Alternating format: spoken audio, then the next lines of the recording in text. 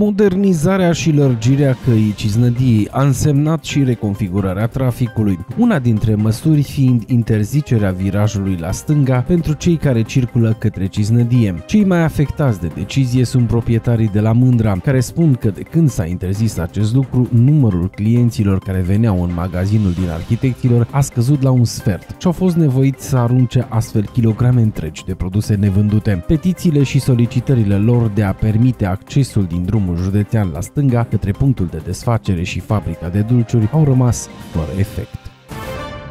Peste 100 de pensionari au așteptat la coadă să-și reînnoiască cardul gratuit în fața agenției Tursib de pe calea Dumbrăvii, cât și în Terezian. De la ora 8, oamenii s-au grăbit să-și reînnoiască cardurile de călătorie, astfel au format cozi uriașe.